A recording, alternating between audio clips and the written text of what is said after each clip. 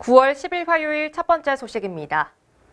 한러 지방협력 포럼은 2018년 6월 문재인 대통령과 푸틴 러시아 대통령 간의 한러 지방협력 포럼 설립에 관한 양해각서에 따라 창설됐습니다.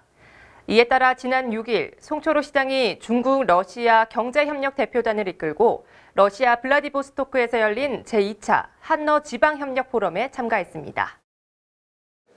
한러 지방협력 포럼은 우리나라와 러시아 극동 지역 지방자치단체 간의 경제 및 문화, 교육, 관광 등 분야의 교류 확대를 위한 회의체로 우리나라 17개 시도지사와 러시아 극동 연방광구 11개 지자체장이 참여하고 있습니다.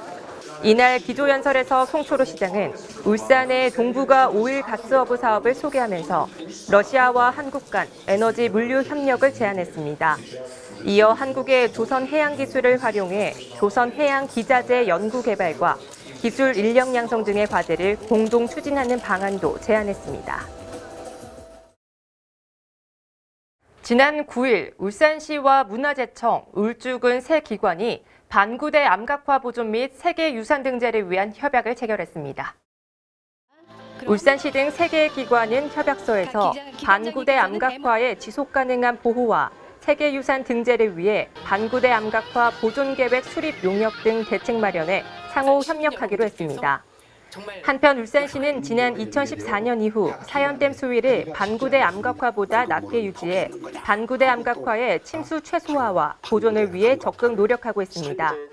또한 울산의 부족한 청정 원수를 운문댐 등에서 확보하는 내용을 담아 울산의 물 문제를 해결하기 위해 최선을 다하고 있습니다. 울산시는 민족 최대 명절인 추석을 맞아 사회복지시설과 어려운 이웃을 위문해 따뜻한 정을 나누는 시간을 가졌습니다. 위문 대상은 노숙자 쉼터 및 장애인 복지시설 등 97개소로 울산시는 온누리 상품권과 생필품, 기저귀 등 15종의 위문품을 전달했습니다.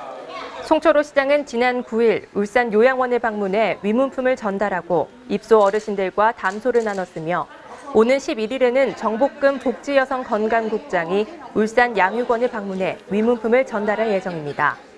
한편 울산시는 민족 최대의 명절인 추석을 맞아 따뜻한 정을 나누는 사회 분위기를 조성하기 위해 어려운 계층에 대한 위문을 진행한다라고 전했습니다. 울산의 문화와 생활 소식을 알려드리는 해우리 문화가 알림입니다. 추석 연휴 기간 동안 전통시장 주변 도로에 주정차를 한시적으로 허용하오니 시민 여러분의 많은 방문 바랍니다. 아름다운 음악과 환상적인 하모니가 있는 곳 VUS 콘서트가 9월 20일 현대예술관에서 열립니다. 대한민국의 문화 위상을 드높인 리틀 렌제스 예술단의 공연을 울산에서 만나보시죠. 이상으로 울산 시정 뉴스 마칩니다. 시청해주신 여러분 고맙습니다.